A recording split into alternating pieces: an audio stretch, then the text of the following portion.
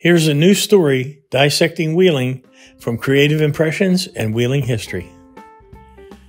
I have many, many, many Jamboree pictures, but uh, I just acquired this one and it's such a beauty.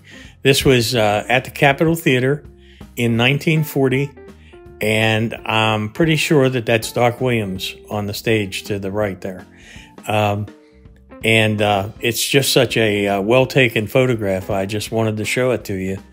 And this is when the Jamboree was at the Capitol Theater.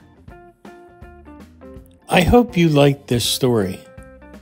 If you want to support what we're doing, hit the like, share, and thanks button.